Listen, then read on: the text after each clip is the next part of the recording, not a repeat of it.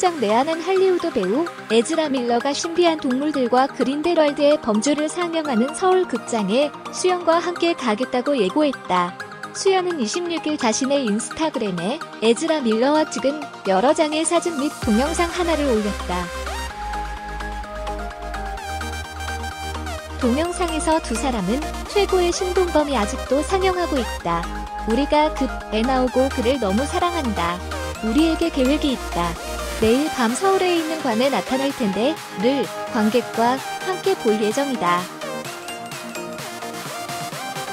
거기서 볼 수 있을 것이다. 어떤 극장에 나타날까요? 함께하길 바란다고 예고했다. 이어 게재한 사진에는 서울에서 함께 시간을 보내는 두 사람의 모습이 담겼다. 두 사람은 함께 식사를 하고 대형 인형 옆에서 사진을 찍는 등 자연스럽게 서울 나들이를 즐기는 모습이다. 신비한 동물들과 그린데럴드의 범죄 홍보사에 따르면 에즈라 밀러는 개인적으로 한국을 방문한 것으로 를 함께 찍은 수영과 친분이 있어 함께 시간을 보내고 있다.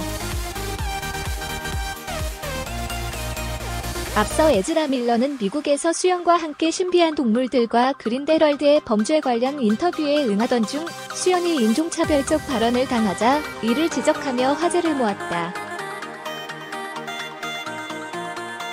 한편 신비한 동물들과 그린데럴드의 범죄는 220만 명 이상의 관객을 모으며 상영 중이다 서울